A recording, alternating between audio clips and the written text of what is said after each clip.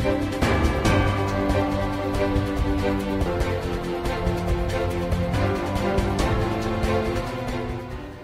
সবাইকে R K ceramics presence ব্যাপিক অনুষ্ঠানে। সঙ্গে আছে সৈয়দ আশিক রহমান।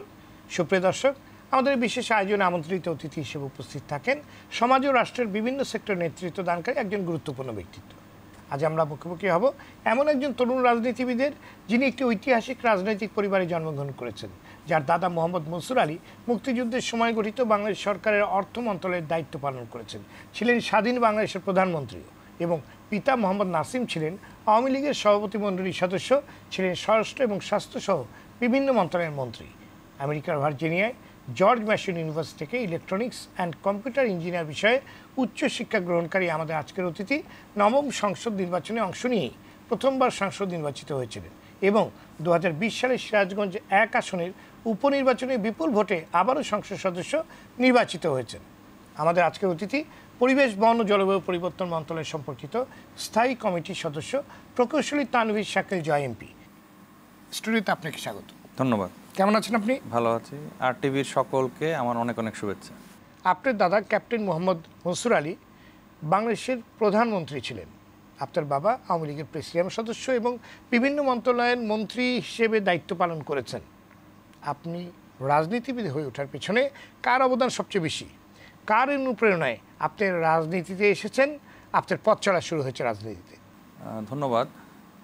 আসলে আমার পরিবার ঐতিহাসিকভাবেই তো বাংলাদেশের ইতিহাস, রাজনীতি সকলের সাথে জড়িত। আমার দাদাকে যখন তেসরা নভেম্বরে জেলখানার অভ্যন্তরে হত্যা করা হয়, ওই সময় আমার বয়স ছিল এক বছর। যার ফলে আমার দাদার স্মৃতি তো আমার মাঝে তেমনভাবে নেই। পরবর্তীকালে আমার বাবা সক্রিয় রাজনীতি করছেন, সেই মুক্তিযুদ্ধের, তিনি মুক্তিযুদ্ধে অংশগ্রহণ করেছেন। আমার দাদা তো মুজিবনগর সরকারের অর্থমন্ত্রীর দায়িত্বে ছিলেন। সুতরাং রাজনৈতিক পরিবারে বেড়ে ওঠার ক্ষেত্রে আমি আমার বাবাকেই সবসময় সামনে পেয়েছি। এবং উনআশি থেকে আমার বাবা যখন ভারত থেকে বাংলাদেশে এসে গ্রেপ্তার হন, তারপর থেকেই তো আমি বাবার রাজনীতি দেখে আসছি। এবং জিয়াউর রহমানের সরকার পরবর্তীতে সাত্তার পরবর্তীতে এরশাদ খালেদা জিয়া সকল সময় অত্যাচার নির্যাতন আন্দোলন সংগ্রাম আমার বাবার সকল কিছু দেখেই আমি বেড়ে উঠেছি। সুতরাং অনুপ্রেরণার দিক থেকে অবশ্যই আমার বাবা সব থেকে বড় অনুপ্রেরণা এবং তার কাছ থেকেই আমার রাজনীতি শেখা বা রাজনৈতিক পরিমণ্ডলে বেড়ে ওঠা। দাদা ক্যাপ্টেন মনসুর আলী এবং পিতা মোহাম্মদ নাসিম ফলে আপনার প্রতি আপনার এলাকার মানুষের প্রত্যাশা অনেক বেশি। কতটা চাপ অনুভব করেন? স্বভাবতই মানে অন্যান্য যে কোনো সংসদীয় আসনের থেকে আমাদের আসনটি কিন্তু ভিন্ন। ভিন্ন এই কারণেই যে আমার দাদা প্রথম এই অংশের নির্বাচিত প্রতিনিধি হন উনিশশো চুয়ান্ন সালে যুক্তফ্রন্টের সরকারের সময়। এবং উনিশশো চুয়ান্ন সালের পর থেকে অদ্যাবধি প্রায় অর্ধশতর বেশি সময় ধরে, পঞ্চাশ বছরের বেশি সময় ধরে কোনো নির্বাচনেই এখানে নৌকা পরাজিত হয়নি। সুতরাং এই অঞ্চলটিকে কিন্তু নৌকার একটি ঘাঁটি বলা হয়ে থাকে। এবং আমার দাদা এখান থেকে নির্বাচিত হয়েছেন প্রধানমন্ত্রী হয়েছেন আমার বাবা নির্বাচিত হয়েছেন একাধিকবার বারবার মন্ত্রী হয়েছেন এমপি হয়েছেন। সুতরাং এই অঞ্চলের জনগণ কিন্তু মানে সেই রকম রাজনৈতিক নেতৃত্বের সাথেই সম্পৃক্ত বেড়ে উঠেছে। যার ফলে আমার উপরে তো একটি অনেক বড় চাপ কারণ তাদের তো প্রত্যাশা হলো এম মনসুর আলী মোহাম্মদ নাসিম এই পর্যায়ে জাতীয় নেতাদের সাথে তাদের সম্পৃক্ততা তাদের রাজনৈতিক সব কিছু আমি যখন দু হাজার আট সালে আমার পিতাকে যখন ষড়যন্ত্র করে নির্বাচন করতে দেওয়া হলো না তত্ত্বাবধায়ক সরকারের সময়, সেই সময় আমি প্রথম সংসদ সদস্য নির্বাচিত হই। এবং তখনও আসলে একটি চাপ নিয়েই আমার রাজনীতি শুরু করা। তবে তখন আমার বড় অবলম্বন ছিল, আমার পিতা জীবিত ছিলেন, আওয়ামী লীগের প্রেসিডিয়াম সদস্য রাজনীতিতে ছিলেন, আমার মাথার উপরে ছায়া হিসাবে ছিলেন। সুতরাং এবার আমার আসলে উপরে চাপটি আরও অনেক বেশি। আমার পিতা চলে গিয়েছেন, আমার সিরাজগঞ্জের মানুষের সকল আশা আকাঙ্ক্ষা আমাকে ঘিরে আমার কাছে তাদের প্রত্যাশা অনেক বেশি। তারা আসলে তাদের আশার সীমারেখাটাও আসলে অনেক বড়। ফিল করছি তবে আমি মনে করি যে জীবনের সকল ক্ষেত্রেই চ্যালেঞ্জ থাকলেই তো আপনি আসলে চ্যালেঞ্জ মোকাবেলা করে সফলতা পাবেন। না হলে তো আসলে সফলতা পাবেন এবার আপনার বেড়ে ওঠার গল্পটা শুনতে চাই। কোথায় জন্মগ্রহণ করেছেন কোথায় পড়াশোনা করেছেন কোথায় বেড়ে উঠেছেন? জি আমার তো ঢাকাতেই ঢাকাতেই আহ, আমি যখন আমার হলি ফ্যামিলি হাসপাতালে আমার জন্মগ্রহণ আর কি। তো তারপরেই তো পঁচাত্তর চলে আসলো। পঁচাত্তর চলে আসলো, অগাস্ট চলে আসলো, আমার দাদাকে হত্যা করা হলো, আমার বাবার নামে হুলিয়া জারি করা হলো। তো ওই সময় আমার বাবা এবং আম্মা আমাকে নিয়ে ভারতে চলে যান, রাজনৈতিক আশ্রয় নেন। পরে উনিশশো উনআশি সালে আমার বাবা ব্যাক ফেরত আসেন এবং আসার পরপরই জিয়াউর রহমানের সরকার তাকে গ্রেপ্তার করে। তো আমার মানে আম্মাই আর কি মানে একটি বেসরকারি চাকুরি করে জীবন, আমাদের সংসার চলতো আর কি। সেভাবে আমরা বাবা তো আর রাজনীতি করতেন, জেলখানায় ছিলেন। আমি হলো university laboratory school university laboratory স্কুলে আমার শিক্ষা জীবন শুরু এবং সেখান থেকে আমি উনিশশো বিরানব্বই সালে এসএসসি পাশ করি। তারপরে ঢাকা কলেজে এইচএসসি নাইনটি ফোরে তারপরে আমি যুক্তরাষ্ট্রের জর্জ মেসন ইউনিভার্সিটিতে আমি ইলেকট্রিক্যাল অ্যান্ড কম্পিউটার ইঞ্জিনিয়ারিংয়ে আমি বিএসসি করি। করে তো দেশে আসি। ইচ্ছা ছিল যে মাস্টার্স করব। কিন্তু এসে তো আর রাজনীতিতে জড়িয়ে বললাম আর মাস্টার্স আর করা হয়নি। জি পিতা মোহাম্মদ নাসিমের সাথে আপনার কিছু স্মৃতির কথা শুনতে চাই। পিতার কোন দিকগুলো আপনাকে সবচেয়ে বেশি আকৃষ্ট করত? আমি যদি আমার শৈশব কৈশোর এই কথাটা বলি এমনকি আমি যদি আমার ইউনিভার্সিটি লাইফ পর্যন্ত বলি মানে আমার বাবার সময় কিন্তু আমরা পরিবারের সদস্যরা বেশি পেতাম না খুবই কম সময় পেতাম। হয় আমার বাবা জেলে থাকতেন আর না হয় বাইরে থাকলে তো সারা দেশে আমার বাবা তো সাংগঠনিক সম্পাদক ছিলেন, আপনি তো জানেন। আওয়ামী লীগকে সংগঠিত করেছেন ছিয়ানব্বই সালে যে এরশাদ বিরোধী খালেদা জিয়া বিরোধী আন্দোলন, তার আগে এরশাদ বিরোধী আন্দোলন। বাবাকে আসলে খুব কম কাছে পেতাম। তো ওই সময়ের স্মৃতিটা বাবার আমার খুব বেশি নেই বা ওইভাবে আমরা পেতাম না তাকে। আমার বাবার সাথে আসলে আমার মানে ওইভাবে সম্পৃক্ততা বেশি হয় মানে দুই সালে দুই সালে পরে, দুই সালের পরে আমিও দেশে চলে আসলাম। তখন আমি আমার বাবার রাজনৈতিক এবং সকল কাজে আমি সহযোগিতা করতাম। তখন আমার বাবার সাথে মানে ঘনিষ্ঠতা আরও বৃদ্ধি পায়। আর ওয়ান ইলেভেনের সময় যখন আমার বাবাকে আটক করা হয়, নির্যাতন করা হয় আমাদের আমার পরিবারের বিরুদ্ধে মামলা দেওয়া হয়, সেই সময় আসলে সমস্ত কিছু, আইনি লড়াই, প্রশাসনিক লড়াই, সকল কিছু আমি সেই সেই বিষয়টা মোকাবেলা করেছি। তখন আসলে বাবার সাথে সেই দুঃসময়ে আরও বেশি ঘনিষ্ঠতা গড়ে উঠেছে আর কি। আর দুই হাজার আট সালে আমি এমপি হওয়ার পরে এলাকার সকল কিছু তো আমার বাবার পরামর্শ নিয়ে অনুপ্রেরণায় নির্দেশনা আমি দেখাশোনা করতাম এমপি ছিলাম। তো তখন রাজনৈতিক ঘনিষ্ঠতা বৃদ্ধি পেয়েছে আমার বাবার রাজনৈতিক পরিমণ্ডলটাতে আমার প্রবেশ আরও বেশি ঘটেছে।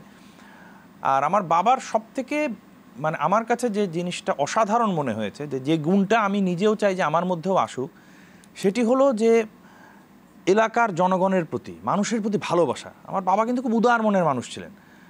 এবং আমি সবসময় খেয়াল করতাম আমার বাবা বলতেন যে এটি নাকি উনি আমার দাদার কাছ থেকে দেখেছেন যে একজন রাজনীতিবিদ হিসেবে অবারিত দাঁড় থাকতে হবে।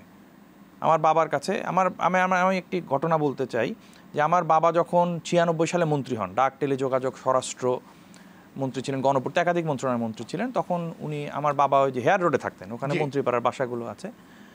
এবং সে সময় একটি কথা প্রচলিত ছিল যে আমার আমাদের যে বাসা, সেই বাসাকে ঘিরেই ওখানে অনেক চায়ের দোকান কনফেকশনারি সব কিছু গড়ে উঠেছিল। কারণ আমাদের বাসায় প্রতিদিনই দেখা যেত কয়েক হাজার লোক আসছে।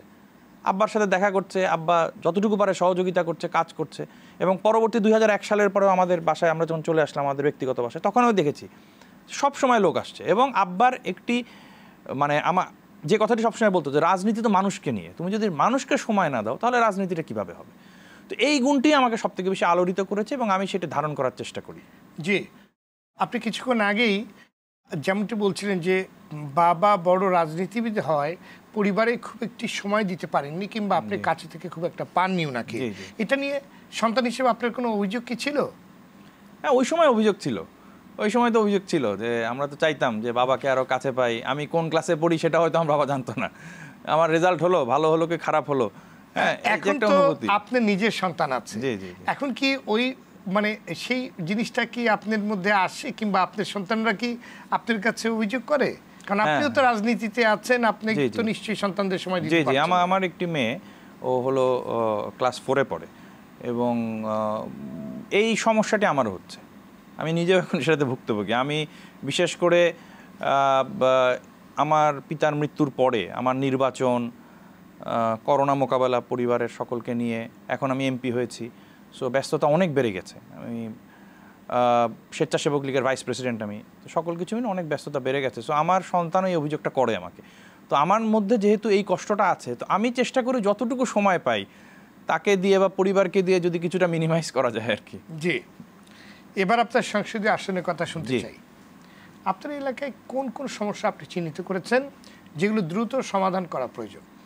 আসলে আমি একদিক দিয়ে বলব যে এই যে রাজনৈতিক উত্তরাধিকার এটি আমি সৌভাগ্যবান রাজনৈতিকভাবে এবং এলাকার দিক থেকেও। প্রথম বিষয় হলো যে এলাকার মানুষ তো হলো নৌকা পাগল মানুষ আমার এলাকা যেটি বলব জি। হ্যাঁ? আর আমার এলাকার সব থেকে বড় যে সমস্যাটা ছিল সেটি ছিল হলো নদী ভাঙন। নদী ভাঙন। যমুনা নদীর সব থেকে মানে বিপজ্জনক এলাকা হলো আমার এলাকা কাজীপুর। এবং নদী ভাঙনেই আমার এলাকার গত প্রায় পঞ্চাশ বছরে মূল যে ভূখণ্ড সেটি ছিন্ন বিচ্ছিন্ন হয়ে গেছে। আমার এলাকার ছয়টি ইউনিয়ন আছে চরের মধ্যে, সম্পূর্ণ চর কমপ্লিট চর। তো আমার পিতার প্রথম থেকেই, ছিয়ানব্বই সালেই যখন উনি প্রথম মন্ত্রী হলেন, তখন থেকেই ওনার লক্ষ্য ছিল যে আমার এলাকাকে নদী ভাঙন মুক্ত করতে হবে। এবং সেই সময় তিনি অনেক কাজ করেছিলেন পাঁচ বছরে।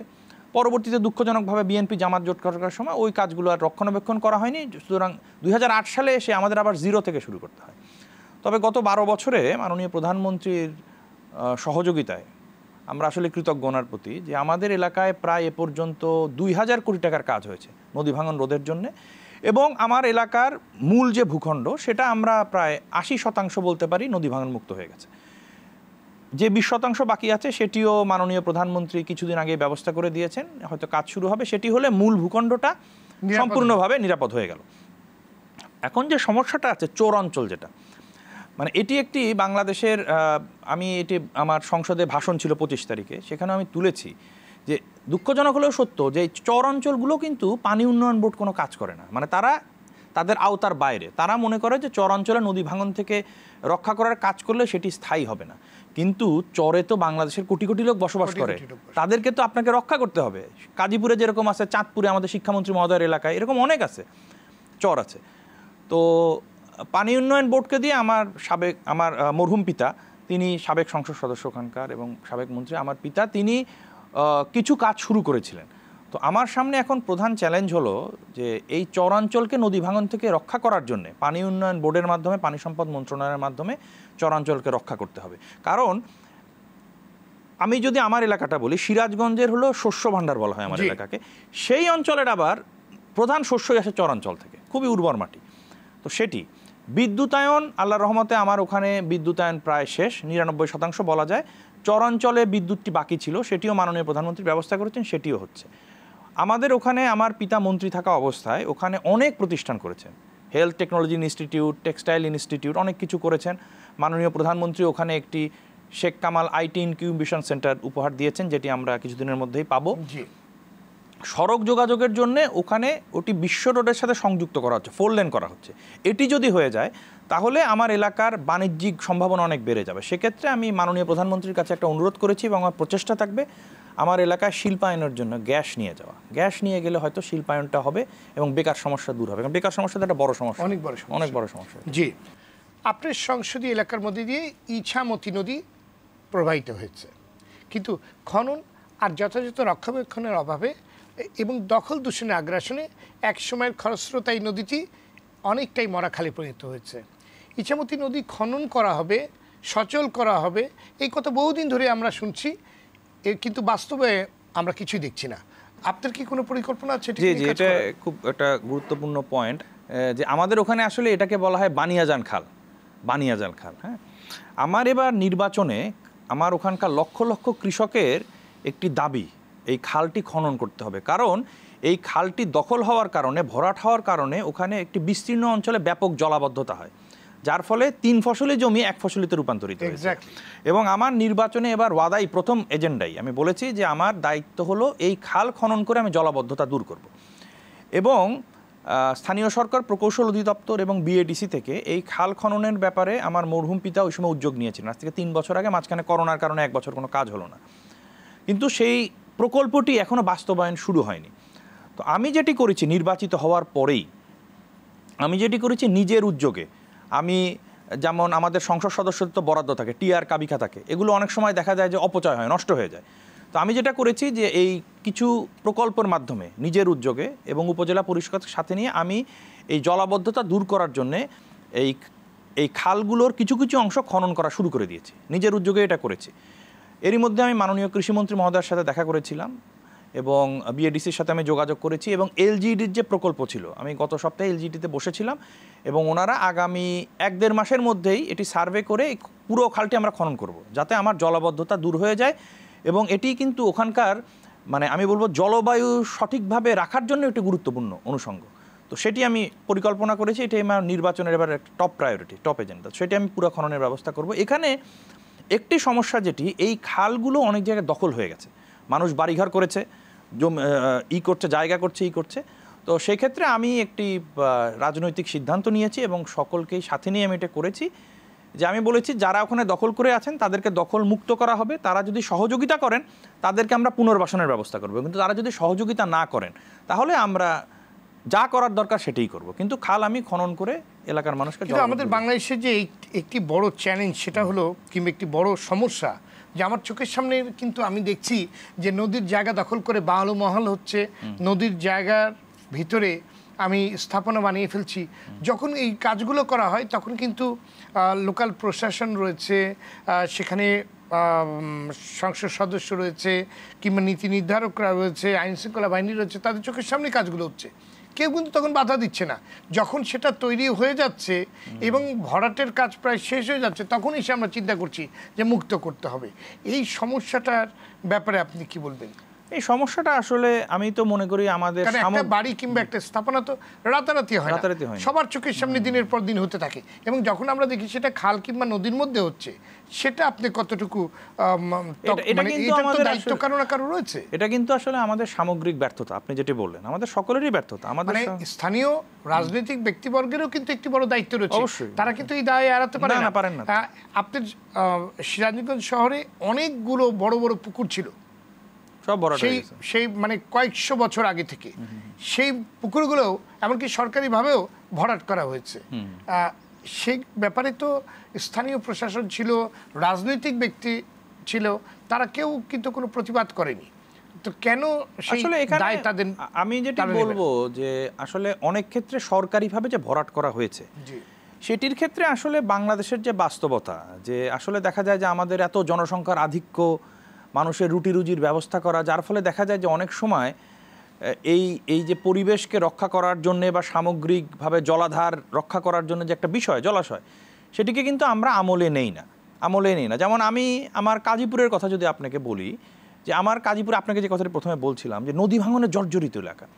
অনেক ভূখণ্ডের থেকে যারা একসময় অনেক বিত্তবান ছিল, নদী ভাঙনে সব সর্বস্ব হয়ে হারায় ফেলল, একদম নিঃস্ব হয়ে গেল। চর থেকে অনেকে চলে আসলো। এই যে জনগোষ্ঠী, এই জনগোষ্ঠী কিন্তু করেছে কি যে এই জমিগুলো কিন্তু আসলে সরকারি জমি, খাস জমি। এই যে খালটা গেছে যে ইসামতি নদী বা যে বানিয়াজান খাল বলছি আমরা হ্যাঁ? তো এই যে এইখান দিয়ে, তো সেইখানে তারা যখন বসতি স্থাপন করে, তারা যখন জমি, মাটি ভরাট করেছে বা ই করেছে, আমরা হয়তো জনপ্রতি বলেন বা সমাজপতি বলেন বা এলাকার লোকজন বলেন তারা কিন্তু সেই বিষয়টাকে মেনে নিয়েছে এই কারণে যে এই মানুষগুলো কোথায় যাবে? মানবতার খাতিরে বা তাদেরকে এক জায়গায় আশ্রয় দিতে হবে। নিশ্চয়ই ওখানে কারও কারও হয়তো স্বার্থও ছিল। কিন্তু চরে কিন্তু আমরা আপনি যে কাজীপুরের কথা। বলছেন সেখানে কিন্তু একদিকে ভাঙছে আর একদিকে চর অত্যন্ত উর্বর জমির চর অত্যন্ত উর্বর, আমি তো বললাম যে শস্য ভাণ্ডার। এবং আমরা সেখানে দেখেছি যে কিছু আহ, ক্ষমতাশালী মানুষ কিংবা মাসল পাওয়ার যাদের আছে আহ, তারাই কিন্তু এই চরগুলো পরবর্তীতে দখলে নিয়ে তাদের মতো করে সেখানে আরও বৃত্ত বানানোর চেষ্টা করছে। কিন্তু যাদের ভেঙে গেছে, তাদেরকে কিন্তু সেখানে পুনর্বাসন করার ব্যবস্থা হয়নি। এখন এই এই- এই বিষয়ে আপনি কি বলবেন? জি আসলে আমি আমার আমার নির্বাচনী এলাকায় যেটা বলি, কাজীপুরে এই সমস্যাটা কম। মানে কাজীপুরে যে সে চর দখল করে নেবে বা চর দখল করে খাবে, এই সমস্যাটা কাজীপুরে কম। অতটা না। হয়তো কিছু আছে, কিন্তু তুলনামূলকভাবে বাংলাদেশের অন্যান্য চরের তুলনায় অনেক কম। এবং এই চর দখল নিয়ে সমস্যা বা চর দখল নিয়ে আগে যে আমরা টিপিক্যাল মানে সংঘর্ষের ঘটনা দেখতাম এগুলো আমার ওখানে কম। ওখানে ওখানে যেটা হচ্ছে ওখানে একটা সমস্যা এটা শুধু কাজীপুরের না এই সমস্যাটা আমি এর আগে যখন সংসদ সদস্য ছিলাম তখনও সংসদে তুলেছিলাম যে একটা নিয়ম আছে যে ধরেন আপনি চরে আছেন আপনার জায়গা জমি আছে ভেঙে গেল আপনি নিঃস্ব হয়ে গেলেন। পরে একটা চর উঠল স্বভাবতই কিন্তু আমরা মানবিকভাবে মনে করি যে ওই লোকগুলোরই ওখানে জায়গা হওয়া উচিত। কিন্তু আমাদের সরকারি নিয়ম হলো সেই জমিটা তখন সরকারি খাস জমি হয়ে যাচ্ছে কিন্তু, নতুন যে চরটা উঠছে। আপনার কিন্তু মালিকানা থাকছে না। তার ফলে ওখানে হয়তো কিছু মাসেল পাওয়ার বা কিছু স্বার্থান্বেষী মহল ওটাকে বিভিন্নভাবে ম্যানেজ করে একটা দখল করে নিতে পারে। কিন্তু এরকম আইন যদি থাকতো যে আপনার এখানে জমিতে আপনি ভেঙে গেছেন, আপনি নিঃস্ব হয়ে গেছেন, সরকারের যে চর উঠল, সেই চরে আপনি একটা জমি পাবেন বা জায়গা পাবেন, তাহলে এই সমস্যাটা সমাধান হতো। এখন আমরা যেটা, আমি আপনাকে একটি বিষয়ে বলতে চাই, যে মাননীয় প্রধানমন্ত্রী জননেত্রী শেখ হাসিনা যে অসাধারণ উদ্যোগটি নিয়েছেন, ভূমিহীন গৃহহীনদের মুজিব বর্ষে ঘর দেওয়া হচ্ছে, জমি দেওয়া হচ্ছে। সত্তর হাজার প্রথম ধাপে শুরু হলো, আমার ওখানেও কিছু দেওয়া হয়েছে। তো আমি, আমার এলাকার প্রশাসন সকলকে সাথে নিয়ে, নেতৃবৃন্দকে সাথে নিয়ে আমি একটা উদ্যোগ গ্রহণ করেছি। এই যে ভূমিহীন, জমিহীনদের যে আশ্রয়, ঘর দেওয়া হবে, এটির বড় অংশ আমরা চরে করব। চরে করলে যেটা হবে যে অধিকাংশ ক্ষতিগ্রস্ত মানুষ তো ওখানে। এক্স্যাক্টলি তারা ওখানে ঘরটা পাবে তারা ওখানে জমিটা পাবে এবং এই জমিগুলো তখন কিন্তু কাজে লাগানো যাবে। এবং আবাদও করতে পারবে। আবাদও করতে পারবে, তাদের হ্যাঁ। তাদের খাদ্যেরও একটি অনেক বড় সমাধান হয়ে যাবে। সুতরাং এটি আমি এখানে উদ্যোগ নিয়েছি। জি। আপনি তো পরিবেশ বন ও জলবায়ু পরিবর্তন মন্ত্রণালয় সম্পর্কিত স্থায়ী কমিটির সদস্য। খোলা চোখে আমরা দেখতে পাচ্ছি সারা দেশের নদ নদীগুলো দখল দূষণে বিলীন হয়ে যাওয়ার ঝুঁকিতে রয়েছে। বন কেটে উজাড় করা হচ্ছে পাহাড় কেটে স্থাপনা তৈরি করা হচ্ছে, এগুলো ঠেকাতে আপনার কোনো উদ্যোগ আছে আমি জানার চেষ্টা করব একটি ছোট্ট বিরতির পর। দর্শক, আরেকে সিরামিক্স প্রেজেন্স বাই মিডা লিরা অনুষ্ঠান নিচ্ছি ছোট্ট একটি বিরতি, সাথেই থাকুন।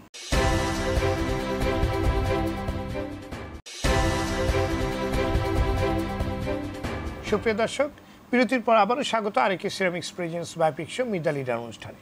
সঙ্গে আছে আমি সৈয়দ আশিক রহমান। আমাদের আজকের অতিথি সিরাজগঞ্জ এক আসন থেকে নির্বাচিত সংসদ সদস্য পরিবেশ বন ও জলবায়ু পরিবর্তন মন্ত্রণালয় সম্পর্কিত স্থায়ী কমিটির সদস্য প্রকৌশলী তানভীর শাকিল জয়। আপনাকে আবার স্বাগত স্টুডিওতে। যে প্রশ্নটি আপনার কাছে বিরতির পূর্বে আমার ছিল যে সারা দেশে যে খোলা চোখে আমরা দখল দূষণের ঘটনাগুলো দেখছি বন উজাড় কিংবা যে গাছপালা নিধন কিংবা কেটে ফেলার যে ঘটনাগুলো দেখছি এগুলো ঠেকাতে আপনাদের কি উদ্যোগ কিংবা সংসদীয় কমিটির সদস্য হিসেবে আপনাদের কি উদ্যোগ রয়েছে কিংবা আপনাদের কি উদ্যোগ রয়েছে? আমি সামগ্রিকভাবে যদি বলি, মাননীয় প্রধানমন্ত্রী জননেত্রী শেখ হাসিনা কিন্তু আপনি জানেন যে মানে জলবায়ু সংরক্ষণ বা জলবায়ু পরিবর্তনের যে অভিঘাত, মোকাবেলা, এই সকল বিষয়ে কিন্তু দুই হাজার আট সাল থেকেই নিরন্তর কাজ করে আসছেন এবং সে কারণে তিনি বারবার পুরস্কৃত হয়েছেন, প্রশংসিত হয়েছেন। আমি দুই হাজার আট সালে যখন সংসদ সদস্য ছিলাম, তখন যদিও আমি আইসিটি মন্ত্রণালয়ের সংস- সংসদীয় কমিটিতে ছিলাম কিন্তু জলবায়ু পরিবর্তন বা এই বিষয়ে কাজ করার আমার একটা ব্যক্তিগত আগ্রহ ছিল, যার ফলে আমি সেই সময়েও আমাদের দক্ষিণ এশিয়ার একটি সংস- সাংসদদের একটি ফোরাম ছিল ক্লাইমেট পার্লামেন্ট। সেটির বাংলাদেশ চ্যাপ্টারের আমি প্রধান ছিলাম এবং অনেক কাজ করেছিলাম আর কি। তো এবার তো আমি সরাসরি এই কমিটিতেই এসেছি। তো আমি যেটি মনে করি যে সংসদ সদস্য হিসাবে প্রত্যেকের কিন্তু নিজ নিজ এলাকার এই পরিবেশ বিপর্যয় ঠেকানোর জন্য একটি দায়িত্ব রয়েছে। আমার এলাকার বাস্তবতা হয়তো একরকম আরেকটি এলাকার বাস্তবতা আরেক রকম। কিন্তু সেই এলাকার জনপ্রতিনিধিদের আমি মনে করি প্রথম একটি দায়িত্ব রয়েছে যে এ তার এলাকার দখল নদী দখল বলেন তার এলাকার পরিবেশ মানে গাছ কেটে ফেলা হোক বন উজাড় করা হোক বা পরিবেশ বিপর্যয় কিন্তু অনেকভাবেই হতে পারে। এই যে শিল্প বর্জ্য যেমন শিল্প বর্জ্য যেমন আমার এলাকা কিন্তু একটু শিল্প ঘন এলাকা কিছু কিছু অংশ। সেখানে কিন্তু প্রচুর তাঁত শিল্প আছে। এখন এই যে তাঁত শিল্প যে তাঁত কলগুলো চলে এগুলো থেকে কিন্তু একটি বর্জ্য বের হয়। যে বর্জ্যের কারণে ওই এলাকার কিন্তু পরিবেশ দূষণ হয়ে যায়। তো আমি এই জিনিসটা যখন আগেই খেয়াল করেছি তখন আমি যেটা করেছি যে মানুষের তো রুটি রুজিও রক্ষা করতে হবে। তো আমি তার যারা মালিক আছেন শ্রমিক আছেন তাদের সাথে বসে আমি একটি ব্যবস্থা করে দিয়েছি যে ঠিক আছে আমরাও কিছু সহযোগিতা করব আপনারাও সহযোগিতা নিয়ে আপনারা এই বর্জ্যটা যাতে সঠিকভাবে মানে নিষ্কাশন করা হয়, সেটির একটা ব্যবস্থা করেন। তো আমাদের ওখানে যেরকম মাননীয় প্রধানমন্ত্রী যে বনায়নের যে বিষয়টি প্রত্যেক এলাকায়, সেরকম বিভিন্ন কর্মসূচি এর আগেও গ্রহণ করা হয়েছে। আমার এবার একটি ইচ্ছা আছে যে আমি সংসদ সদস্য নির্বাচিত হয়ে আমার এলাকায় বনায়নের কর্মসূচিটি আরও বেগবান করা। হ্যাঁ বেগবান করা যেন আসলে গাছই তো আমাদের রক্ষা করতে পারবে পরিবেশের এই মোকাবেলাকে মোকাবেলা করতে পারবে পরিবর্তনকে মোকাবেলা করতে পারবে। জি আপনি কিছুক্ষণ আগে তাঁত শিল্পের কথা বলছেন। সিরাজগঞ্জে তাঁত শিল্পে প্রসিদ্ধ কিন্তু সেই খাতে দক্ষ জনবল তৈরি করে এবং শিল্পের আধুনিকায়নে কোনো উদ্যোগ কি আপনাদের রয়েছে কিংবা কোনো উদ্যোগ কি উদ্যোগ উদ্যোগ নেওয়ার একটি মানে আপনি যেমন বলেছেন যে বর্জ্যগুলো বিশেষ করে রংগুলো খুবই ভয়ঙ্কর। যে রংগুলো গিয়ে সুতাগুলোকে রং করা হয় এবং এই ডাইস এই কেমিক্যাল। নদীতে যেতে দেখি আমরা। তো সেটার জন্য তো আপনি ইটিপির চিন্তাও করতে পারেন। কারণ সেটাকে অন্য কোনো একটা জায়গায় ফেলে না দিয়ে তো এগুলো তো একটি সেন্ট্রাল ইটিপি হওয়া প্রয়োজন। ইটিপির বিষয়টি হলো কি? যে মানে আমাদের সিরাজগঞ্জের তাঁত শিল্প এটা হলো ধরেন ক্ষুদ্র মধ্যম শিল্প। জি। হ্যাঁ আমরা যে এটা তো টেক্সটাইল না এটা হলো একটা মানে অটোমেটেড। ক্ষুদ্র ক্ষুদ্র করেই কিন্তু তারা ভয়ঙ্কর হ্যাঁ আমি সেটাই বলছি যে মানে সেন্ট্রালাইজড ইটিপি করার মতো সক্ষমতা সরকারকেই ওখানে ব্যবস্থা নিতে হবে। এটি আমরা যদি আশা করি যে ওই ক্ষুদ্র মধ্যম তাঁত ব্যবসায়ী করবে এটা কিন্তু সম্ভব না। বাস্তবতা হলো সম্ভব না। তাকে যদি আমি ফোর্স করি তাহলে তার ব্যবসাটা বন্ধ হয়ে যাবে। জি। হ্যাঁ? এবং সেক্ষেত্রে আপনি একটা ভালো কথা বলেছেন যে আমাদের সিরাজগঞ্জে তাঁত শিল্পের জন্য প্রসিদ্ধ। কিন্তু তাঁত শিল্পের এই তাঁতিদের বা তাঁতের শ্রমিকদের ট্রেনিং দেওয়ার জন্য কিন্তু আমাদের কোনো ওখানে প্রাতিষ্ঠানিক কোনো প্রতিষ্ঠান নেই। তো আমি কিন্তু এটা আগেও চিন্তা করেছি যে আমি চেষ্টা করব যে আমাদের ওখানে যদি তাঁত শিল্পের প্রশিক্ষণের উপরে একটি ট্রেনিং সেন্টার করা যায় তাহলে এটি কিন্তু অনেক কাজে লাগবে। কারণ তাদের তো কর্মদক্ষতা বৃদ্ধি পাবে। আর তাঁত শিল্পের বর্জ্য নিষ্কাশনের জন্য তো অবশ্যই এই উদ্যোগটি তো আমি গ্রহণ করার অবশ্যই চেষ্টা করব যে আমাদের সরকারের পক্ষ থেকে এবং তাঁত শিল্প তো একটি স্পেশালাইজড এলাকায় হয়ে থাকে সব জায়গায় হয় না। তো সেই এলাকাগুলোতে যদি আমরা ইটিপির ব্যবস্থা করে দিতে পারি সেটার জন্য যে সরকারি মাসিক একটি খরচ সেটি নিশ্চয়ই ওনারা দেবেন. ইনভেস্টমেন্টটা আমাদের করতে হবে. সরকারকে করতে জি সারা দেশের মতো আপনার এলাকাতেও মাদক একটি বড় সমস্যা। তরুণদের মাদকমুক্ত রাখতে আপনি কি কি ধরনের পদক্ষেপ রেখেছেন? যে আপনি অত্যন্ত গুরুত্বপূর্ণ কথা বলেছেন এবং আমার এলাকার সারা বাংলাদেশের মতো আমার এলাকার সব থেকে বড় সমস্যা। এবং এই ক্ষেত্রে আমি নিজেও মানে এই মাদকের কবলে পড়ে তরুণ সমাজ ধ্বংস হয়ে যাচ্ছে। ধ্বংস হয়ে যাচ্ছে এবং আমি আমি খুব হতাশ। আমি আপনাকে এই ওয়ার্ডটাই বলি যে আমি যথেষ্ট হতাশ। কারণ আমি গত বারো বছর ধরে আমি সংসদ সদস্য ছিলাম পাঁচ বছর। তারপরে আমার বাবাকে আমি সহযোগিতা করেছি এখন আবার হয়েছি।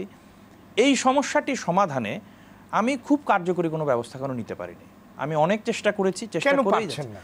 কেন মানে কারণগুলো খুঁজে বের হ্যাঁ, করার কারণটা হলো আমি যেটি দেখি যে আমি মনে করি যে প্রশাসনের মাননীয় প্রধানমন্ত্রী জননেত্রী শেখ হাসিনা এই বিষয়ে সর্বোচ্চ কঠোর অবস্থানে আছেন জিরো টলারেন্স জিরো টলারেন্স কিন্তু আমি যেটা দেখি যে মাঠ পর্যায়ের প্রশাসনে যে সেইটা আমার মনে হয় সঠিকভাবে ট্রান্সলেট হয় না ইমপ্লিমেন্ট হয় না। হ্যাঁ কারণ আমি একটি বিষয়ে আমি আমার নির্বাচনী এলাকায় বলতে পারি আমার নির্বাচনী এলাকায় আমার মরহুম পিতা তিনি এই বিষয়ে মানে খুবই কঠোর ছিলেন এবং মাঠ প্রশাসনকে সকলকে বলা ছিল যে তোমরা মাদক নির্মূলের জন্যে যা যা করার দরকার। তোমাদেরকে ব্ল্যাঙ্ক চেক দেওয়া হলে তোমরা করো। কিন্তু মাদক নিয়ন্ত্রণ করতে হবে, নির্মূল করতে হবে। কিন্তু সেই অনুযায়ী ফল আমরা পাইনি এখনও পাইনি। আমি সামাজিকভাবে কিছু ব্যবস্থা গ্রহণ করেছিলাম। যেমন আমার এলাকায় বিভিন্ন জায়গায় আমাদের যারা রাজনৈতিক নেতৃত্ব আছেন, সমাজপতি আছেন, তাদেরকে দিয়ে একটি সংগঠন করা, যে মাদক বিরোধী সংগঠন, এগুলোকে আমি সবসময় উৎসাহিত করেছি। তারা বিভিন্ন সময় দেখা গেছে যে যারা মাদকাসক্ত তাদেরকে ধরে নিয়ে এসে তাদেরকে পুনর্বাসনের ব্যবস্থা বা মাদক ব্যবসায়ী যারা আছে তাদেরকে তারাই ধরে আইন শৃঙ্খলা বাহিনীর হাতে সোপর্দ করে দেয়। কিন্তু দেখা যায় যে এরা কিছুদিন পরে জামিনে বেরোয় আসে। জামিনে বেরোয় এসে আবার মাদক ব্যবসা শুরু করে দেয়। এটা করে দেয়। আর তখন যেটা হয় ওই যে সমাজের মানুষগুলো যারা আমার জন্য কাজ করল তারা তাদের কাছে ভিকটিম হয়ে যায়। তারা আমাদেরকে এসে বলে যে এদেরকে ধরে দিলাম লিডার। তাহলে তো আবার এর দুদিন পর জামিনে বের হয়ে গেল। আমার এখন নিরা- জীবনের নিরাপত্তা নাই। জীবনের নিরাপত্তা। এই সমস্যা। এগুলো হয়। তবে আমি মাদকের ক্ষেত্রে বলা হয় সরবরাহের উৎস বন্ধ করতে হবে আরেকদিকে কনজামশন বন্ধ বন্ধ করতে হবে যাতে ব্যবহারকারীরা ব্যবহারটা না করে। যখন মানুষের বেকারত্ব বাড়ে তখনই তারা এগুলোতে বেশি আসক্ত হয়। তো আপনার এলাকায় বেকার কিংবা তরুণদের কর্মসংস্থান সৃষ্টিতে আপনার কোনো কর্মসূচি কি রয়েছে? আপনি এটা অত্যন্ত গুরুত্বপূর্ণ কথা বলেছেন যে আসলে আমি এটা দেখেছিও যে আপনাকে তো মানে সমস্যার বহুমাত্রিকতা চিন্তা করতে হবে। হ্যাঁ যেমন একটি উদ্যোগ আমরা নিচ্ছি যে আমাদের এলাকাতে সাংস্কৃতিক চর্চা খেলাধুলা এগুলোর ক্ষেত্র বাড়াতে হবে। তো এই যে বিষয়গুলো আমি আমি এটা স্টাডি করেও দেখেছি আমার এলাকায় যে এখনকার তরুণ তরুণীরা যারা আছেন ভাই বোনেরা খেলার আছেন খেলার সুযোগ নেই সাংস্কৃতিক চর্চা নেই। হয় তারা সারাদিন মোবাইল ফোনের ভিতরে আছে আর যখনই তাদের এই স্পেসটা সংকুচিত হয়ে যাচ্ছে তারা কিন্তু বিভিন্ন এই যে জঙ্গিবাদ বলেন মাদক বলেন এগুলোতে যুক্ত হয়ে যাচ্ছে। সুতরাং সামাজিকভাবে এটি সমাধানের জন্য একটি উদ্যোগ আমি নিচ্ছি যে আমাদের এলাকায় সাংস্কৃতিক চর্চা খেলাধুলার ক্ষেত্র বেশি তৈরি করা। আমার ওখানে যেহেতু যমুনা নদীটা প্রবাহমান যমুনা নদীর ওই রুটটা হলো মাদকের একটা বড় রুট বাংলাদেশে। সেই উত্তরবঙ্গ থেকে সীমান্ত হয়ে এদিক দিয়ে চলে যায়। তো এটা আমার এখানে একটা বড় সমস্যা। তো সেক্ষেত্রে আমি স্বরাষ্ট্র মন্ত্রণালয়ে এরই মধ্যে আবেদন করেছি যে আমার ওখানে নৌ পুলিশের তৎপরতা বাড়ানোর জন্য। কারণ মাদকের রুটটা তো বন্ধ করতে হবে নাহলে কীভাবে আমি ঠেকাবো? জি। আর কর্মক্ষেত্রের ব্যাপারে আমি একটু সংক্ষেপে বলি যে আমাদের ওখানে বেশ কিছু প্রতিষ্ঠান আমার মরহুম পিতা করেছিলেন আর এবার যেহেতু Sheikh Kamal IT incubation centre হচ্ছে আমার একটা আশা আছে যে ওখানে আমার বেকার ভাই বোনদের জন্য কর্মসংস্থানের কিছু সুযোগতা তৈরি করা যাবে। জি আপনার এলাকা কিন্তু পর্যটনের জন্য একটি অত্যন্ত প্রমিজিং প্লেস জি। অত্যন্ত ভালো একটি জায়গা বিশেষ করে যমুনার যে বাঁধটি আপনারা দিয়েছেন। এই বাঁধকে ঘিরে কিন্তু একটি বিশাল বড় পর্যটন কেন্দ্র। গড়ে উঠতে পারে সেক্ষেত্রে আপনাদের কি পরিকল্পনা রয়েছে পর্যটনের ক্ষেত্রে আমি আসলে বলব যে আমার মরহুম পিতা তিনি আসলে মানে আমার আমাদের এলাকাকে এত ভালোবাসতেন এবং তিনি তার একটা ভীষণ ছিল এই যে আমরা যে যমুনা নদীর বাঁধ দিলাম এটি কিন্তু আমাদের কারোরই মাথায় আসেনি যে বাঁধ দেওয়ার পরে এই অংশকে পর্যটন কেন্দ্রে পরিণত করে আমার মরহুম পিতা কিন্তু তখনই যখন তিনি স্বাস্থ্যমন্ত্রী ছিলেন তখনই তিনি আমার খেয়াল আছে পর্যটন মন্ত্রী মহোদয়কে কয়েকবার নিয়ে যান রাশেদ খান মেনন সাহেব ছিলেন এবং ওখানে একটি ইকো পার্ক করেন আমার পিতা বাঁধের ওপরে। ইকো পার্ক করেন এবং একটি পর্যটন ক্ষেত্র গড়ে তোলেন। ছাতা বসার জায়গা এগুলো করেছেন এবং আপনি বিশ্বাস করেন যে প্রত্যেক বছর ঈদের সময় বগুড়া আশেপাশের এলাকা থেকে এত পরিমাণ লোক আমার ওইখানে আসে বাঁধে আসে যে ওখানে পুলিশ প্রোটেকশন দিতে হয় যাতে এই মানুষগুলোর কোনো নিরাপত্তার সমস্যা না হয়। এবং আমরা পরিকল্পনা করেছি যে সুপরিকল্পিতভাবে ওই জায়গাটিকে পার্কের মতো বিনোদন কেন্দ্র আমরা এমনভাবে করব যেখান থেকে রেভিনিউ আসবে এবং মানুষও উপভোগ করতে পারবে। এবং ওই পুরো বাঁধটিকে আমরা এভাবে দৃষ্টিনন্দনভাবে তৈরি করছি প্রকল্প চলমান আছে। জি। অনেকেই রাজনীতিকে দ্রুত ধনী হওয়ার একটি সিঁড়ি বলে মনে করে। জি, জি। বিশেষ করে এখনকার এখনকার যে প্রবণতা আমরা দেখছি রাজনীতিতে কোনোভাবে আসতে পারলেই বুঝি খুব দ্রুত সময় অনেক টাকা বানানো সম্ভব হবে। এটাকে আপনি কীভাবে দেখেন? আমি মনে করি যে বঙ্গবন্ধু হত্যার পরে আসলে রাজনীতিতে গুণগত পরিবর্তনটা হয়ে গেছে। তখন রাজনীতি করতেন কারা? যারা হয়তো সমাজের সেই মানে ত্যাগী মানুষ যারা যাদেরকে আমরা দেখতাম যে রাজনীতি করা মানেই সেই মানে স্বদেশী করেছেন বা ওই সময়ের যে একটা চরিত্র হ্যাঁ সে খাদির পাঞ্জাবি ঝোলা কাঁধে থাকবে ছেঁড়া স্যান্ডেল থাকবে। মানুষের জন্যই হ্যাঁ মানুষের জন্য আত্মত্যাগ করতেন জাতির জনক বঙ্গবন্ধু শেখ মুজিবুর রহমান ছিলেন আমার দাদা ছিলেন হ্যাঁ? আমার বাবারা যখন রাজনীতি শুরু করেছেন তখন দেখতাম যে আমি যেটা বললাম যে আমার আম্মা চাকরি করে সংসার চালাতেন হ্যাঁ? কিন্তু এটি কিন্তু সত্য বাস্তবতা যে গত বিশ পঁচিশ বছরে কিন্তু রাজনীতির গুণগত একটা পরিবর্তন হয়ে গেছে হ্যাঁ? আমরা এখন দেখছি যে হয়তো রাজনীতি যেরকম অর্থ বানানোর একটা হাতিয়ার হয়ে গেছে বা অর্থবিত্তশালী লোকজনও রাজনীতিতে আসছে না। অর্থবিত্তশালী রোজ রাজনীতিতে আসা কিন্তু খারাপ না। আমি আবার এটাকে নেগেটিভ মনে করি না। ঠিক আছে? যখন একজন মানুষ যদি ব্যবসায়ী হন উনি রাজনীতিতে আসতে পারবেন না এরকম মনোভাব আমার আমার না। কারণ ওনার যদি সেই যোগ্যতা থাকে মানুষের প্রতি ভালোবাসা থাকে কিন্তু আত্মদানের মানুষের জন্য কাজ করার যে প্রবণতা হ্যাঁ, হ্যাঁ। সেটা না থাকলে পারে তাহলে তো রাজনীতিতে আসা যাবে না। এখন তবে একটা বিষয় কি আমি আপনাকে মানে মনে করি মানে রাজনীতিতে কেউ যদি আসে যে তার ব্যবসাকে প্রোটেকশন দেওয়া আরও বেশি কিছু বৃদ্ধি করা যায় আর যেটার কথা যে- যেটা এখন অনেক বিশ্লেষকই বলছে যেটা একটা বড় ধরনের ক্রাইসিস এটা investment হয়ে চ্যালেঞ্জ হয়ে দাঁড়িয়েছে এটাকে আপনি কীভাবে দেখেন? এটি তো অবশ্যই শর্ট মানে ভালোভাবে দেখার কোনো সুযোগ নেই। কারণ আপনি যদি হ্যাঁ আপনার ব্যবসায়ীভাবে আপনি সফল বা সমাজে সফল ব্যবসায়ী আসতে পারে। ওটা সমস্যা কিন্তু তার দেশের জন্য কাজ হ্যাঁ, করা মানুষের জন্য মানুষের কাজ জন্য কাজ করতে কিন্তু আপনি সম্পদ বৃদ্ধি করবেন সেটাকে কাজে লাগিয়ে। তো হলে তবে একটা বিষয় কি সেইভাবে বেশি দিন কিন্তু টেকা যায় না। জি। ওয়ান টাইম এমপি হতে হবে বা ওয়ান টাইম রাজনীতিবিদ হতে হবে। প্রচুর উন্নয়নমূলক কাজ হচ্ছে। কিন্তু অস্বাভাবিক বেশি ব্যয় হলেও কাজগুলো টেকসই হচ্ছে না। রাস্তা বানানো হচ্ছে ব্রিজ বানানো হচ্ছে সরকারি স্থাপনা বানানো হচ্ছে কিন্তু কিছুদিন যেতে না যেতে সেগুলো ভেঙে পড়ছে কিংবা টেকসই কাজ হচ্ছে না। এটাকে আপনি কীভাবে দেখেন? এই কাজের গুণগত মান নিশ্চিত করার জন্য করণীয় কি বলে আপনি মনে করেন? কিছু কিছু ক্ষেত্রে সঠিক পরিকল্পনার অভাব আছে। এটি তো আসলে আমি তো মনে করি যে এটি মানে যারা বাস্তবায়ন করছেন তাদের একটা বড় দুর্বলতা।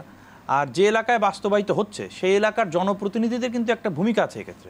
আপনাকে তো সেই সেটি পরিদর্শন করতে হবে সেটি তত্ত্বাবধান করতে হবে যে আজকে সারা বাংলা আমাদের তো সীমিত সম্পদ। অনেক কষ্ট করে কিন্তু আমার এলাকার হয়তো একটি হাই স্কুলের বিল্ডিং বা একটি চরের প্রাইমারি স্কুলের বিল্ডিং করা হয়। তো এটা তো আমি আমরাই পরিশ্রম করেই নিয়ে যাচ্ছি। তো সেক্ষেত্রে আমরা যদি যথাযথ তদারকিটা না করি তাহলে সেই সম্পত্তি বিনাশ হলে কিন্তু আবার একটি স্কুল করা কিন্তু অনেক কঠিন আমার জন্য। তো সুতরাং আমি মনে করি জনপ্রতিনিধিদের একটু সঠিক তদারকি থাকতে হবে। আরেকটি বিষয় আমি পরিকল্পনার কথা যেটি বলতে চাইছিলাম যে আমরা অনেক সময় আমি আপনাকে বলি যে অ্যাভারেজ ডেভেলপমেন্টের কথা না চিন্তা করি। যেমন আমার নির্বাচনী এলাকায় ছয়টি ইউনিয়ন চরের মধ্যে। চরের মধ্যে আপনি যদি রাস্তা করেন সেই রাস্তাকে কিন্তু আপনাকে অবশ্যই আরসিসি রাস্তা করতে হবে ঢালাই রাস্তা। কারণ আপনি তো আর বন্যা প্রতিরোধ করতে পারবেন না। বন্যা তো হবেই প্রত্যেক বছর। আপনি কি বন্যা ঠেকাতে পারবেন? এটা কি সম্ভব? এটা তো সম্ভব না। তা বন্যা যখন হবে তো বন্যার পানি কিন্তু এই রাস্তাগুলোর উপরে উঠবে। যখন ওখানে আরসিসি রাস্তা করা হবে যেমন আমাদের মহামান্য রাষ্ট্রপতির এলাকায় হাওড়ের ভিতর দিয়ে একটা রাস্তা করা হয়েছে বা আমাদের মাননীয় তথ্য প্রযুক্তি প্রতিমন্ত্রী আমার বন্ধু পলকের ওখানে একটি সাবমার্সিবল রোড করা হয়েছে। তো দেখা যাচ্ছে কি যে আমরা আমি আমার অভিজ্ঞতা থেকে বলি এই রোডগুলো করার যখন প্রস্তাবনা আমরা দেই দেখা যায় যে এই রোডগুলো করতে স্বাভাবিক এলাকার রোডের থেকে একটু বেশি খরচ হয়। হয়তো পঞ্চাশ লাখ লাগে এখানে সত্তর লাখ আশি লাখ লাগে কিন্তু অনেক টেকসই হয়। কিন্তু টেকসই হয় এবং আপনার কিন্তু রিপেয়ারিং এ যে খরচ যাবে সেটাও আলটিমেটলি সেটা কিন্তু যায় না। কিন্তু আমরা করি কি চিন্তা করি যে না পঞ্চাশ লক্ষ টাকা রাস্তাটা করতে হবে। আমার তো ব্যয় বৃদ্ধি হয়ে যাচ্ছে। কিন্তু ব্যয় বৃদ্ধিটা হচ্ছে এটা একটা ইনভেস্টমেন্ট যেটা লং টার্মে আমার সাস্টেনেবল হবে। তাই মনে করি আমাদের পরিকল্পনার কিন্তু এখানে একটি ঘাটতি আছে। আপনি তো বিদেশে পড়াশোনা করেছেন। আপনি ভার্জিনিয়াতে আপনার ছাত্র জীবন। আপনার গ্র্যাজুয়েশন আপনি করেছেন। আপনি তো নিশ্চয়ই দেখেছেন যে সেখানে রাস্তার দুপাশে কোনো স্থাপনা কিংবা দোকানপাট বসানো হয় না। কিন্তু আপনার এলাকার কথাই যদি আপনি চিন্তা করেন আপনার সবচেয়ে বড় প্রতিবন্ধকতা আপনার রাস্তার দুপাশেই হ্যাঁ, রাতারাতি সব দোকান পাট এবং বাজার গড়ে উঠছে। আপনি কি ব্যবস্থা নেবেন? যোগাযোগের উন্নয়নের জন্য আমাদের মাননীয় প্রধানমন্ত্রী যোগাযোগ উন্নয়নের জন্য দারুণ কাজ করে চলেছেন। কিন্তু রাস্তা কিংবা বাইপাস একটি রাস্তাকে আপনার অ্যাভয়েড করার জন্য বাইপাস তৈরি করা হচ্ছে কিন্তু তার পাশেও দুপাশে আপনার স্থাপনা গড়ে উঠছে হাট বাজার গড়ে উঠছে। কেউ কিছু বলছে না কেন? কেউ কিছু বলছে না আমি যদি আপনাকে মানে অনেস্ট উত্তর দিই রাজনীতি আমাদের রাজনীতি প্রোটেক্ট করার জন্য আমরা বলছি না। যেমন আমি ধরুন আমার যে বাস্তবতাটা যেটা সামনে আসে। রাজনীতির সবচেয়ে বড় কাজটাই তো সেবা হ্যাঁ, এবং হ্যাঁ। দেশের উন্নয়ন। উন্নয়ন। এখন বিষয় যেটা হচ্ছে কি যে কোনটা আগে তা কোনটা আগে হ্যাঁ। এখন যেটা হচ্ছে যে ধরেন আমার নির্বাচনী এলাকা যেটা সেই নির্বাচনী এলাকায় আমার মরহুম পিতা তিনি তো ওই রাস্তাগুলো প্রশস্ত করেছিলেন। একবার কিন্তু প্রশস্ত করেছেন। হ্যাঁ। প্রশস্ত করেছেন গোল আমরা চক্কর করেছেন। দেখেছেন। কিছুদিন ঠিক ছিল তারপরে কিন্তু ওই প্রশস্ত রাস্তার পাশে আবার বাজার বসে গেছে আবার সিএনজি আছে সব এগুলো কিন্তু একদিনে বসছে না। এবং আমরা আমরা আমরা বিভিন্ন মানে ই নিয়ে দেখেছি অনুসন্ধানে দেখা গেছে যে স্থানীয় প্রশাসন কিংবা কারও না কারও সহযোগিতায় সেই ঘটনাগুলো ঘটেছে এবং সেখান থেকে তাদের মদতেই সেখান থেকে টাকা অর্থ হ্যাঁ, আদায় করা ওখানকার আমার যারা লোকাল লিডারশিপ আছে তাদের কারও না কারও মদত তো আছে। তারা কেউ না কেউ তো বেনিফিটেড হচ্ছে এটাই তো বাস্তবতা। এবং আমাদের ওপরে আমরা যারা রাজনীতি করি বা জনপ্রতিনিধিত্ব করি আমাদের ওপরে চাপটা কি আসে? ওই যে এলাকার যারা ক্ষুদ্র জনগোষ্ঠী যারা হয়তো ক্ষুদ্র ব্যবসায়ী যারা হয়তো টুকরি করে বিক্রি করে তারা তখন সবাই এসে কিন্তু আমাদের চাপ দেয় যে লিডার আমাদেরকে যদি বসতে না দেন আমরা তো না খেয়ে মারা যাব আমরা কোথায় যাব? আমরা নদী ভাঙবো? এবং এই বাস্তবতায় কিন্তু আমরা অনেক সময় বাধ্য হয়ে ছাড়টা দিই। এটা সত্যি কথা। এটাই এই ছাড় দিতে দিতে দেশের যে লক্ষ্যে আমরা পৌঁছতে চাচ্ছি সেটা হচ্ছে না। এখন সে কারণে যে পরিকল্পনা যেমন আমার ওখানকার ওই সড়কটি এখন আপনাকে যে একটু আগে বললাম ফোর লেন করা হচ্ছে। জি। ওখানে দেখা গেছে এই ফোর লেন করতে যে দুপাশে যখন আমরা গত সপ্তাহে উচ্ছেদ অভিযান করলাম দুপাশে দেখলাম যে রোডস অ্যান্ড হাইওয়েজের প্রায় একশো থেকে দেড়শো ফিট জায়গা কিন্তু, সরি কি বলে আমি আরও বেশি আরও বেশি জায়গা দখল হয়ে গেছে। দখল ছিল কিন্তু, এগুলো কিন্তু উচ্ছেদ করা হলো। রাস্তাটা কিন্তু অত চওড়া হবে না।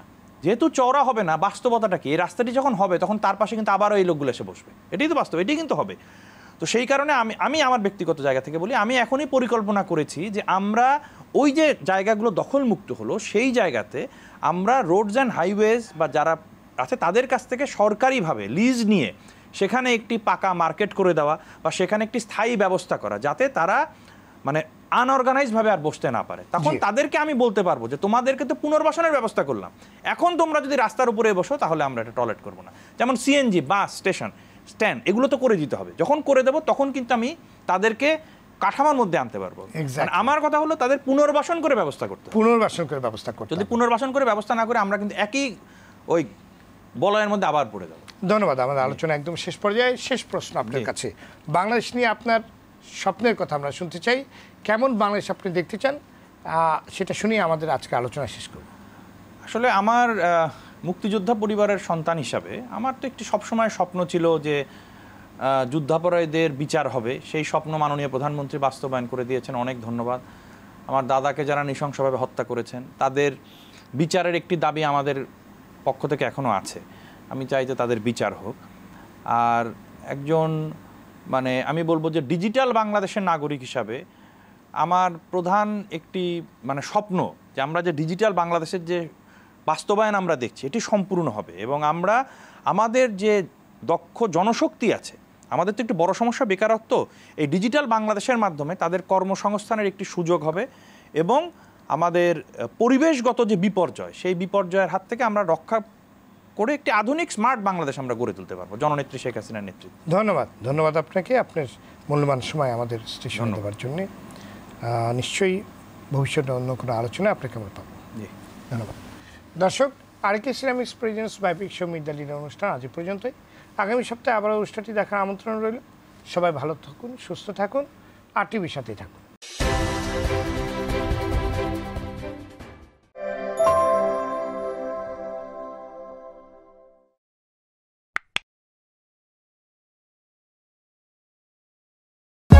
For more updates, subscribe